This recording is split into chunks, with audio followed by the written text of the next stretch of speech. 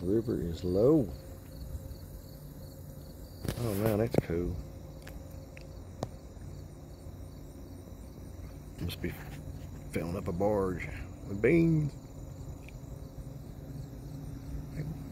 What the? Only in Helena. How in the heck did a Walmart shopping cart get here on the Mississippi River?